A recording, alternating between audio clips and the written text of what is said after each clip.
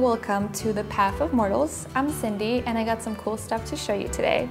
So I want to point out that all the pieces that we show you guys are actually direct replicas of certain things and all these things have a bunch of legends and stories behind them.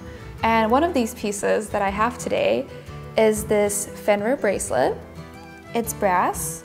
It has two beautiful wolf heads on each end and these wolf heads are made exactly after Thor's wolf hammer. They even have the little hole, just like the hammer. And when you put the bracelet on, it sits right here. And this is where Fenrir, the wolf god, actually bit off Tyr's arm.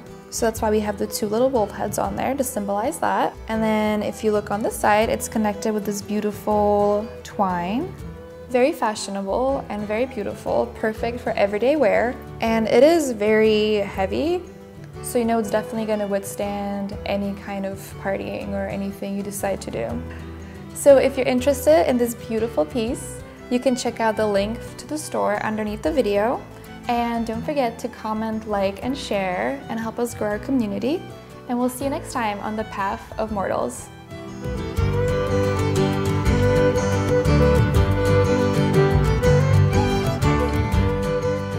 Pendant of a wolf, and the wolf is actually named Fenrir. He's the son of Loki. So a very powerful wolf god we have right here.